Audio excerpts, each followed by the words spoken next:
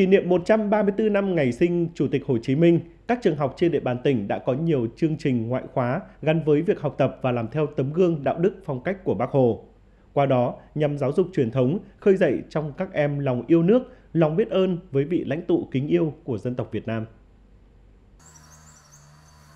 Những ngày tháng năm lịch sử, cô và trò trường Trung học cơ sở Chu Hóa, thành phố Việt Trì cùng nhau tham dự một tiết học đặc biệt tại khu lưu niệm Bác Hồ.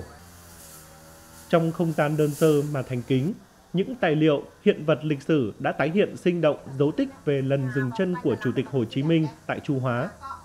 Cuộc đời giản dị, tấm gương đạo đức và tinh thần hết lòng vì nước, vì dân của người, qua đó càng trở nên rõ nét và gần gũi hơn với các em học sinh.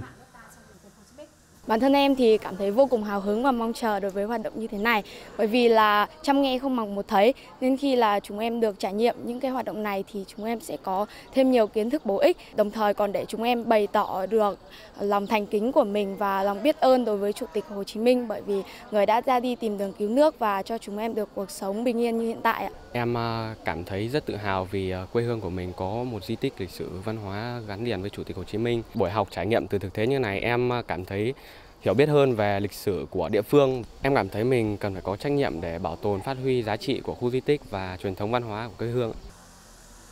Những năm qua, việc giảng dạy ngoại khóa gắn với lịch sử địa phương, giáo dục truyền thống cho các em học sinh luôn được các nhà trường đặc biệt quan tâm. Tại trường Trung học cơ sở Chu Hóa, những tiết ngoại khóa gắn với các di tích lịch sử, văn hóa luôn được nhà trường duy trì triển khai thường xuyên với nhiều nội dung đa dạng, phong phú và nhận được sự hưởng ứng nhiệt tình của các em học sinh.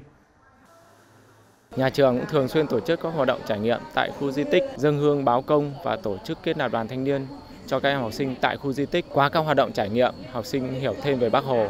và từ đó có ý thức hơn trong việc vận dụng, học tập và làm theo tấm gương đạo đức phong cách Hồ Chí Minh vào cuộc sống hàng ngày bằng những việc làm thiết thực ý nghĩa. Cùng với giáo dục truyền thống, phong trào tuổi trẻ học đường, học tập, làm theo lời bác cũng được triển khai tích cực các em học sinh đang nỗ lực rèn đức, luyện tài để trở thành con ngoan, trò giỏi, cháu ngoan bác Hồ, xứng đáng là thế hệ mầm non tương lai của đất nước.